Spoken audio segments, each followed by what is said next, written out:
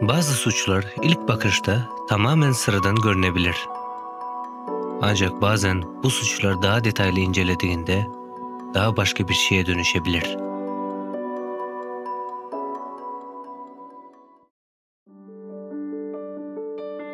Hikaye, Corina Malen adında bir kızla başlıyor. 1 Eylül 1967 tarihinde doğmuştur. Müreffeh bir ailesi, babası, annesi ve iki kız kardeşi vardı. Kız 10 yaşına kadar Oakville'de yaşadı. Ancak o şehirde yaşamak için iyi bir zaman değildi. Sokaklarda o kadar fazla suç işleniyordu ki, Corina'nın babası Claude, kızlarının dışarıda oynamasına bile izin vermekten korkuyordu.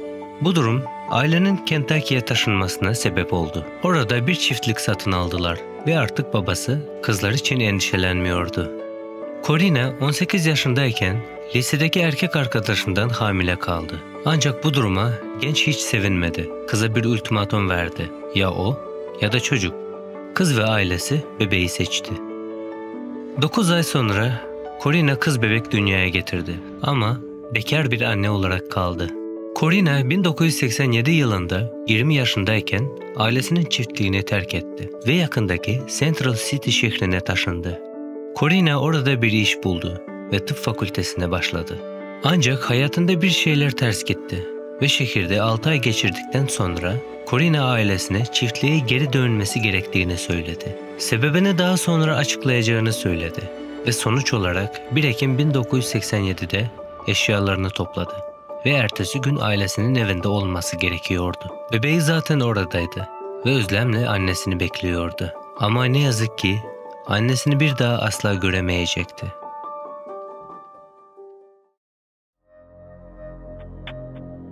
...2 Ekim 1987 sabahı bir bekçi otoparkta mavi bir araba buldu. Kapısı açıktı ve içinde kimse yoktu. Adam arabanın etrafında dolaştı ve arka kısmında bagajın olduğu bölgede çok fazla kurumuş kan izlerini gördü. Bekçi hemen polisi aradı. Devriye memurları olay yerine gelip bagajı açtıklarında genç bir kızın cesediyle karşılaştılar. Kız battaniyelere sarılmıştı ve üzerinde hiçbir giysi yoktu. İlk saniyelerden itibaren dikkat çeken şey öldürülme şeklinin vahşiliğiydi. Yüzünde çok sayıda sıyrık ve morluk vardı. Vücudunda birkaç bıçak yarası ve boğazında kesik vardı. Aslında o kadar kötü dövülmüş ki yüzüne bakarak kimliğini tespit etmek çok zordu.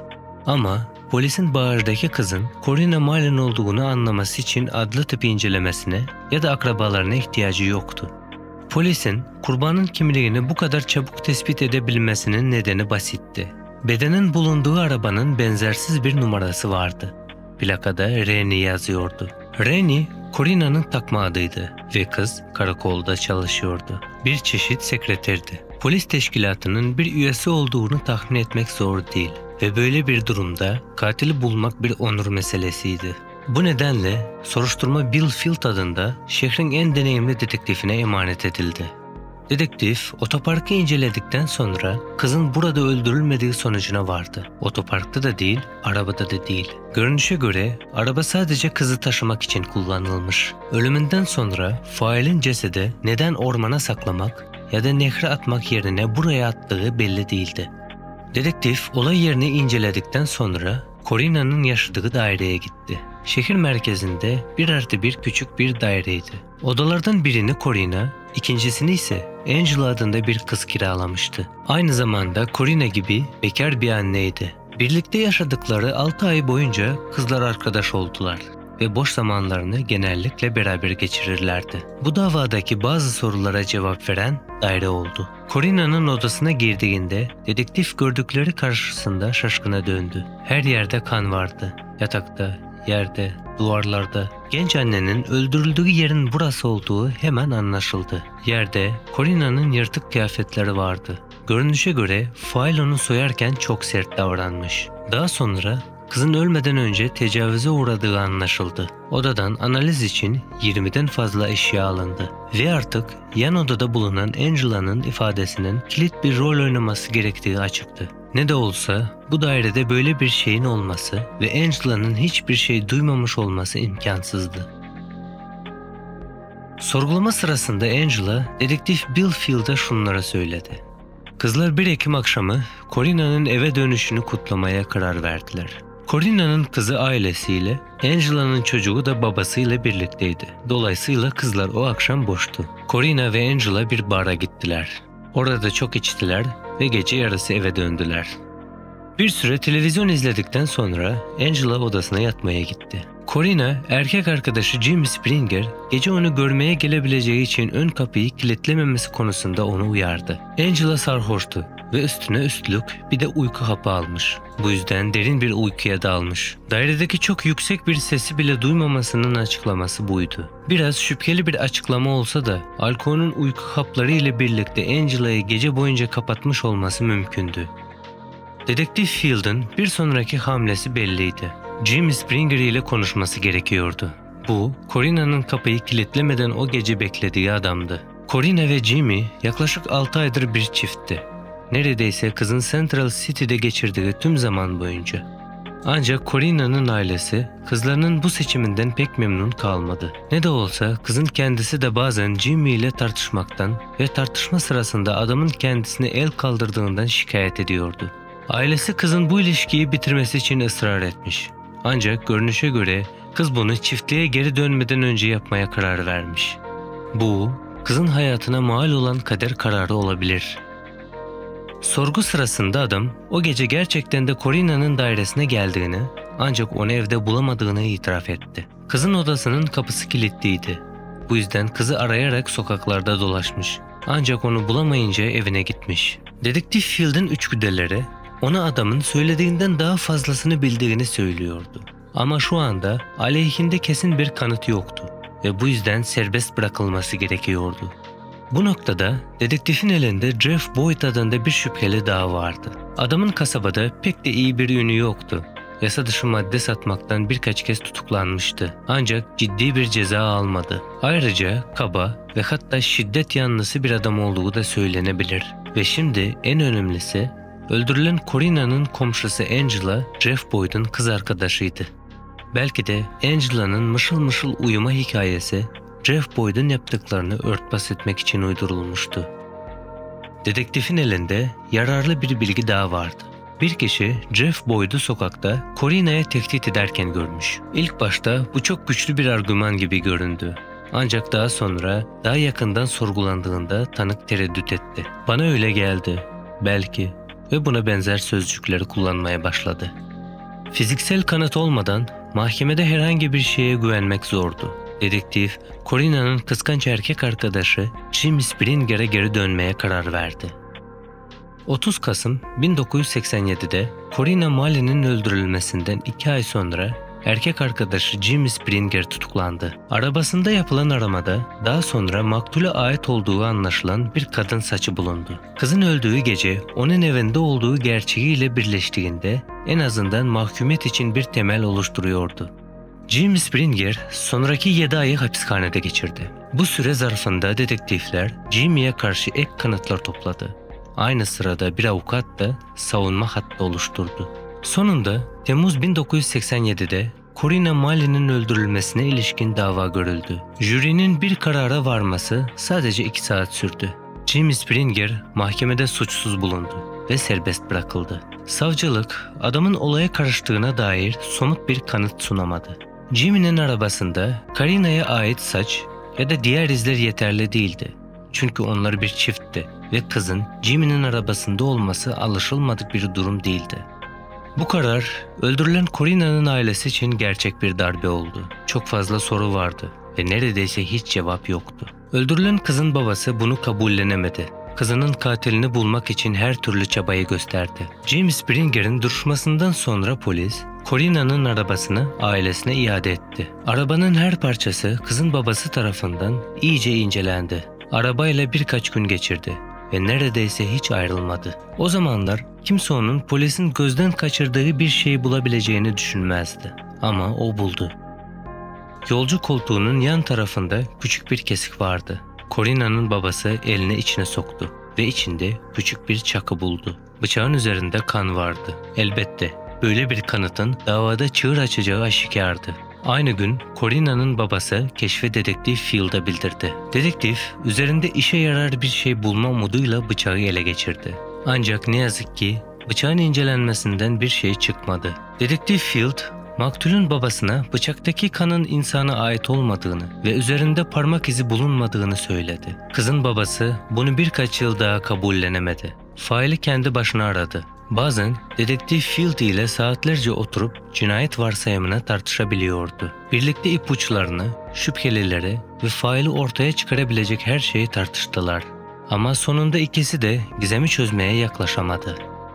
1992 yılında Dedektif Field emekli oldu. Corina'nın babası polis teşkilatındaki en önemli yardımcısından yoksun kaldı. Bu noktada sonunda umudunu kaybetti. İstemeyerek de olsa kızının katilinin ceza almayacağını kabul etmek zorunda kaldı. Böylece Corina Malley'nin davası polis arşivlerinde rafa kaldırıldı. İki yıl sonra 1994'te dedektif Terry Arnett davayla ilgilenmeye başladı. Önceki dedektifin gözden kaçırdığı bir şeyi bulma umuduyla yeniden başladı. Merhumun ailesiyle sık sık konuştu. Ancak yardım etme hevesi bile Corina'nın ailesinde bir umut kıvılcımı ateşleyemedi.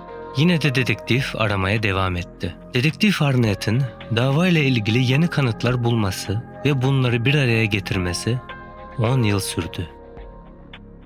Ancak Corina'nın ölümünün gizemini çözmeye çok yaklaşmışken gelen bir telefonla planları alt üst etti. Arayan yakın zamanlarda dedektif Arnett'i görmüş olan bir pratisyen hekimdi. Doktor dedektife son evre kanser olduğunu bildirdi. Hastalığı yenmek için neredeyse hiç şans yoktu. Dedektif Arnett, merhumun ailesinin gerçeği bilmesi gerektiğine karar verdi ve ölmeden önce 10 yıl boyunca biriktirdiği tüm materyalleri o zamanlar sıradan bir dedektif olan arkadaşı Curtis McGee'ye verdi. 4 Aralık 2005'te kanser dedektif Arnett'in hayatına mal oldu. Curtis McGee, merhum dedektif Arnett'in elde etmeye başardığı bilgiler karşısında şok olmuştu. Dava konusunda neden bu kadar titiz davrandığını ancak şimdi anlıyordu. Ne de olsa Corina Malley'nin ölümü basit bir cinayetten çok daha fazlasıydı. Yine de öğrendiklerine o bile inanamadı. Ancak şüpheleri yaklaşık 20 yıl boyunca sessiz kalan tek bir tanık tarafından nihayet giderildi. Dedektif McGee'nin ofisine Samantha Robinson adında bir kadın geldi. Neredeyse 20 yıl önce Corina Malley'ne ne olduğunu bildiğini söyledi. Tüm bu zaman boyunca çılgınca korkmuş. Ama kendi kızının başına böyle bir şey gelmesini istemediği için Corina'yı öldürenleri hapse göndermenin zamanı geldi. 1 Ekim 1987 tarihinde o zamanlar 16 yaşında olan Samantha Robinson gece vakti şehrin bir caddesinde evine doğru yürüyordu. Aniden yanına bir araba yanaştı. İçinden çıkan iki adam onu yakaladı ve arabaya itti. Samantha ve arabadaki iki adam Corina Malley'nin dairesine vardılar. Orada adamlar Corina'yı vahşice dövmeye başladılar. Komşusu Angela Smith uykuda değildi. Her şeyi duyuyordu ama elinden bir şey gelmiyordu. Yan odada yüksek sesle hıçkıra hıçkıra ağlıyordu. Dayaktan sonra adamlar sırayla Corina'ya tecavüz etti ve sonra içlerinden biri kızı bıçaklamaya başladı. Sonunda boğazını kesti. Adamlar daha sonra sokaktan kaçırdıkları Samantha Robinson'a tecavüz etti. Daha sonra adamlardan biri daireden ayrıldı. Diğeri ise Corina'nın cesedini arabanın bağrına koydu. Samantha'yı direksiyona oturttu ve ona arabayı sürmesini söyledi. Bir süre sonra Corina'nın terk edilmiş arabasının daha sonra bulunduğu otoparka vardılar. Orada onları evden ilk çıkan adam bekliyordu. Samantha kaçınılmaz olarak sıranın kendisine geleceğini biliyordu. 16 yaşındaki kız adamların dikkati dağılmışken arabadan indi. Anahtarları en yakındaki çalılıklara attı ve arkasına bakmadan kaçtı. Evine varana kadar elinden geldiğince koştu. Kendini bu şekilde hayatta tutmayı başardı. Samantha onu kaçıran ve Corina'yı öldüren adamları tanıyordu. Bunlardan biri Jeff Boyd'u. Daha önce bahsettiğim vahşi uyuşturucu satıcısı. İkinci adam faili ararken çok titiz görünen dedektif Billy Field'dı.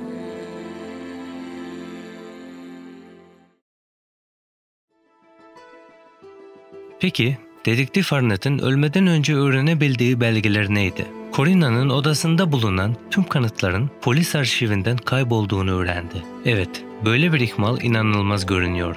Ancak kimse davadaki kanıtların nereye gittiğine cevap veremedi. Dahası soruşturmayı başından beri yürüten dedektif Field'ın talimatıyla Corina'nın babasının arabasında bulduğu bıçak da dahil olmak üzere hiçbir eşya analiz için laboratuvara gönderilmemişti. Dedektif Field, bıçağın üzerinde hiçbir iz olmadığını söyleyerek ona yalan söyledi. Aslında analize vermemişti bile. Şimdi uyuşturucu satıcısı Jeff Boyd ile dedektif Bill Field'ın arasındaki bağlantının ne olduğunu anlamaya çalışalım. Aslında çok basit. Billy Field yozlaşmış bir polisti. Zamanında şehirdeki uyuşturucu ticaretini örtbas etmiş. Ancak bu çiftin Corina Mullen'da ne alıp vermediği vardı. Daha önce de söylediğim gibi Corina polis için sekreter olarak da çalışıyordu. Ölümünden iki gün önce karakoldaki dedektiflerden birine Jeff Boyd'un uyuşturucu ticaretine karıştığını söylemiş. Dedektif Field bunu öğrendi. Corina'ya bunun için bir ders vermeleri gerekiyordu ve bunu öldüğü gece yaptılar. Dedektif Field kendisinin işlediği cinayeti araştırıyordu. Oda arkadaşı geceyi bir barda geçirdiklerini ve ikisinin de sarhoş olduğunu söylemesine rağmen Corina'nın kanında alkol izine rastlanmamasına da dahil olmak üzere tüm kanıtları ve önemli tanık ifadelerini saklamıştı. Elbette Angela, Jeff Boyd'dan ve Field'dan korkuyordu ve söylemeleri gerekeni söyledi. 2 Kasım 2006 tarihinde o zamana kadar Central City'de ikamet eden Billy Field tutuklandı. İnanılmazdı. Kasaba halkı bu olay karşısında şaşkına döndü. Çünkü onlara göre Field örnek ve saygıdeğer bir adamdı. O gece Corina'nın dairesinde Field ve Boyd'un yanında Jimmy Kramer adında bir adam daha vardı. Tanıklarla yeniden yapılan görüşmeler Field, Boyd ve Kramer'ın suçluluğuna ilişkin pek çok gerçeği ortaya çıkardı. Billy Field'ın daha önce gömdüğü eksik gerçekler. Sonunda Nisan 2009'da Corina'nın oda komşusu Angela Smith yalancı şahitlikten 6 yıl şartlı tahliye edildi. Jimmy Kramer, Jeffrey Boyd ve Billy Field, Corina Mullen'e işkence etmek, tecavüz etmek ve öldürmek suçlarından ömür boyu hapis cezası aldılar. Davanın çözülmesi neredeyse 20 yıl sürdü. Rüşvetçi bir polis memurunun suçlu olduğu ortaya çıkan bir dava. Tüm bu süre boyunca rol yapıyordu. Öldürülen kızın babasının gözlerinin içine baka baka yalan söylüyordu. Ancak bu sadece yozlaşmış bir polisin değil, aynı zamanda davanın çözülmesinden büyük ölçüde sorumlu olan dürüst bir dedektifin, Terry Arnett'in de hikayesidir. Bu arada hoşlaşmanın zamanı geldi. Kendinize ve sevdiklerinize iyi bakın. Yakında görüşürüz.